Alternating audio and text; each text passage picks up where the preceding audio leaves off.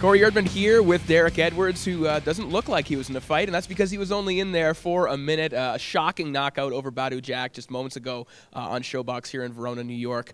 Uh, that couldn't have been something that even you expected. I know a lot of people didn't. Right. Not quite. I mean, uh, I know I can crack throw a good punch, but I wasn't uh, quite expecting it so quick. You know, like I stated, I didn't feel like he was necessarily really tested uh, in his previous fights, like knowing what his punch resistance was. But I know pretty much it was a matter of when I touch him, to see how how his initial reaction was going to be. But it was a harder punch than I than I guess I uh, expected. Uh, did you feel the same way when you threw that punch? When you landed that counter right hand, did you pretty much know right there that it was over with? I'm a pretty good counter puncher. Uh, I knew when I hit him. Actually, I felt the ref in his corner.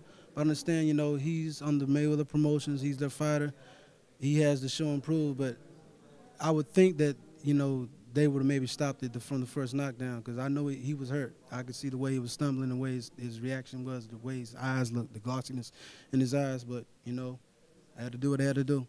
Now, how much tape are you able to look at of Badou leading into this? Because I know talking to people leading up to this fight, people mentioned that looking at the stats, he jabs more than almost any fighter out there, which means that one or two of those must be lazy once in a while. And it just so happened that you caught him over one of those jabs that he had hanging out there. Right. Uh, well, I not not a lot of footage. I mean, and that's one thing I look at footage of fighters to try to get a you know, like any other fighter, try to get a broad sense of what type of style or what type of abilities they have. But I never try to uh, depend too much on that because you can you can change tactics about fighting different fighters. So and just more or less just uh, work on what I'm doing, what I what I'm doing well and uh, just try to counter that and react with what he's doing after I give him a certain look and just uh, work work on that. Now, the last time most boxing fans would have seen you on uh, on an American broadcast, it was against Matt Korobov, and you nearly did the same thing against Korobov. Was that kind of a motivating factor that okay, the next time I get in the ring and I hurt someone, I'm not going to let that slip away this time? Oh yeah, definitely it did. Um, and I, I take my head out to Matt Korobov. He's a hard, strong, like you know, like you expected a Russian fighter. You know, I mean, dedicated. I'm sure drains hard as hell. But that's another thing. Uh, it was some uh, some some uh, disagreements I had with my promoter. No excuses at all. But uh, that was another short notice situation, and uh, I needed the money. Chose to fight, but I, I had confidence in what I could do, and I chose to take that fight. But I'm definitely uh, that definitely motivated me to let me know, put me back in the perspective of know what I can really do with this, uh, with the, the, proper time and dedication uh, put forth in training going into the fights. You said something interesting about that during the uh, the press conference, and that was that you know people think that just because a fighter is, has more hype or is better known, that they must be somehow working harder in the gym and whatnot. But there are guys that are putting in the same amount of work who maybe don't have the same amount of money in the in the training camp and whatnot.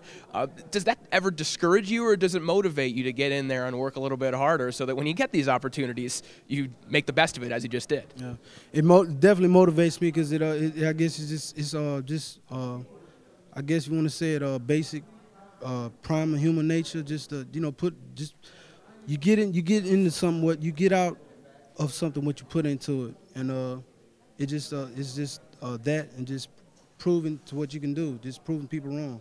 You know, that's definitely a motivator you've put yourself now in a position where you're not going to be able. People aren't going to have. They're not going to be calling you last minute. You know, you're in a position now, or in a position of power. You're probably going to get lots of notice for your next training camp. Uh, that must feel pretty good now for the first time in a long time. Damn good. I, I, I mean, it's like it's things like when when things in your favor, just for the little, the minute things. It doesn't have to be a necessarily powerhouse promoter behind you, but just a more established. Uh, functioning, I guess, you, well-oiled machine, a better team behind you, you know, doing things that, that has to be done scheduled. It takes a lot of pressure and uh, weight off a fighter's shoulders to worry about about having to worry about uh, getting prepared for certain things when you know they're somewhat lined up for you, and it just it makes your gym work just that, that much easier and you've kind of put yourself in a better position now too. You mentioned that you, you moved from North Carolina. You're now training in, in Phoenix, Arizona. Um, I would imagine, with all due respect to the North Carolina scene, a much better scene, much better sparring, and just the environment there than you would have had back home. Definitely, no doubt, no doubt. I have no doubt about it. I, you know, a lot of hungry. I mean, me, I'm a guy from North Carolina. You know, Winston Salem, and it's just like. Uh, uh, it just goes back to me in my younger years, you know, being younger, I know I just look at the old school uh, Tuesday night fights on USA Network. My grandfather, and just uh, during that time I was like seven, eight years old, and uh, he uh he would just point out things to me. I mean, we never missed a night, and I just just fell in love with boxing, and uh, it's it's it's just uh, something that's motivated me being a fighter, just to give my best and and just prove it doesn't like to say that old saying, it's not where you're from, it's where you're at, you know, in here, and what what you're capable of doing and you're in a position now to maybe lobby for uh, that eliminator, and you're in a position where uh, when the year-end awards are written, you're probably going to be in contention for knockdown of the year and maybe for upset of the year. But does do you like that term upset? Because like you were talking about, you know, maybe people should have taken you more seriously, and that you know by calling it an upset, that's kind of putting you down a little bit too.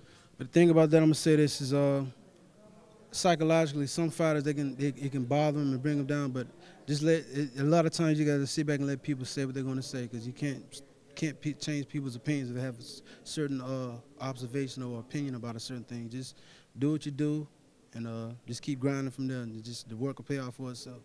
Well, we're happy it paid off here tonight, and we look forward to seeing you take that next step. Thanks. Thank you so much. Thanks again. Thanks a lot.